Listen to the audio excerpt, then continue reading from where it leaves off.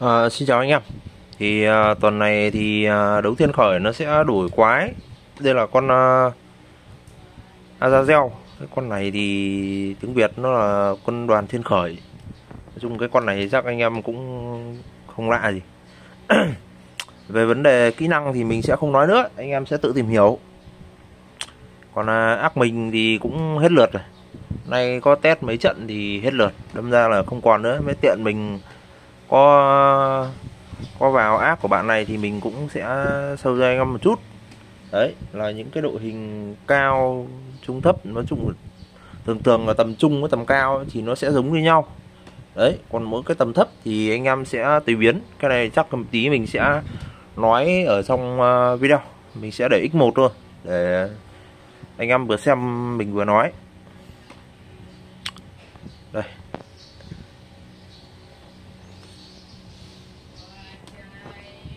Máy pin yếu đâm ra nó hơi ờ, một lần tí. Thì đội hình ờ, tầm trung và cao sẽ là Rimuru, Milim, Kuroko, Tào Tháo, Marco và Jeffy đấy. Thì sắp xếp vị trí thì mình sẽ để như thế này. Anh em có thể rồi tăng tốc đi nhìn trông nó dề già nhìn trông quá chịu. Đấy còn tí nữa đồ thì có có gì mình sẽ cái lấy một app làm mẫu thôi. Còn với những anh em nào dạng server mới mà không có nhiều banner ấy, thì anh em có thể sử dụng là con uh, Marco thay bằng con da cắt lượng. Tào Tháo không có thì anh em có thể đổi để con khác cũng được. Và vị trí của con uh, Zep với lại con uh, Rimuru anh em có thể thay thế đổi chỗ cho nhau. Vì anh em không có banner mà thì anh em sẽ sử dụng một con đấu sĩ khác đánh tầm gần ở vị trí con Jeffy để nó được ăn cái ô búp. Chứ không thì sẽ bị phí mất một ô búp. Anh em có thể san ra là ba vị trí tanh ở ba phía cũng được, nhưng mà cá nhân mình nghĩ là anh em chỉ nên để hai tanh thôi. Để nhiều nó cũng không giải quyết lắm. Và con anh em nên sử dụng vào vị trí đấy thì có một vài cái tên à, thứ nhất là con Megan thứ hai là Izumi thứ ba Ayane Chavinsu hoặc con gì đó. Chắc chắn là phải có một để một con à, tanh ở hàng đầu nhé ở chỗ con à, Kuroko rồi. Đấy các bạn nó cứ nộ liên tục đâm ra là nhìn nó hơi khó.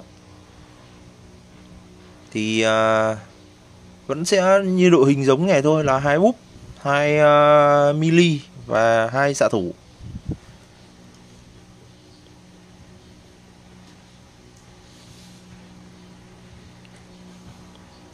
Còn đội hình đội hình từ tầm à, tầm mấy anh em gọi là dạng OB có banner đổ từ uh, cặp đôi Rimi đổ xuống thì trận hình này sẽ là trận hình lý tưởng của anh em. Dĩ nhiên là nếu anh em yếu thì anh em nên sử dụng con uh, ra cát lượng thay chỗ cho con marco để tăng khả năng trụ nó lâu hơn. Còn với như anh em là khỏe bắt đầu là có khả năng trụ ổn này kia thì anh em nên sử dụng uh, con marco thì nó hợp lý hơn vì nó tăng sát thương theo thời gian bằng cái búp của nó. Cộng dồn 5 lần này kia. Có vừa có chí mạng, vừa có hồi máu, thì anh em cũng sẽ dễ trụ hơn so với lại việc là để mỗi con ra cân lượng nó chỉ có cái bảo hiểm một lần thôi. Bảo hiểm đấy thì nói chung là chỉ dành cho những anh em yếu. Không trụ được thì thôi, mình gọi là bật cái bảo hiểm lên, mình có quay thêm được tí đam nào hay tí đấy. mình hết lượt rồi chứ không kia nhiều anh em cũng hối quá. Bảo là làm gì anh em còn quánh nốt kiếm tí điểm. Ớ lạ nhỉ mình rõ ràng tắt thông báo mà sao vẫn nhận hay vừa ấn trượt.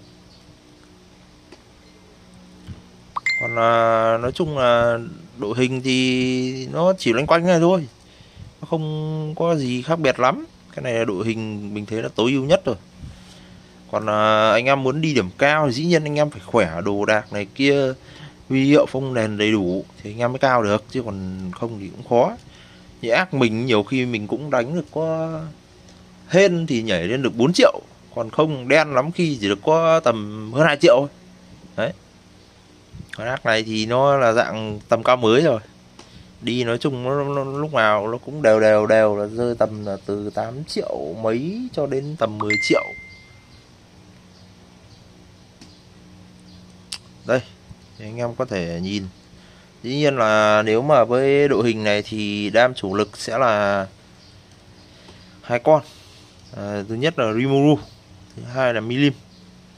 Tào Tháo sẽ mang tính chất là kích hiệu ứng. Tào Tháo sẽ mang tính chất là kích, kích hiệu ứng độc để khả năng cặp đôi Rimi nó sẽ spam tốt hơn. Ờ, à, ác này thì con Kuroko khá khỏe nên mình sẽ để Kuroko làm tanh. Tiện cũng thêm một phần đam cho tim anh em nào yếu thì có thể để con khác ví dụ như Chavisu hoặc là Megan Ayane vân vân. Cặp đôi búp thì uh, như mình đã nói rồi là Marco và Zep. Anh em nào yếu thì thay ra cắt lượng vào chỗ Marco đấy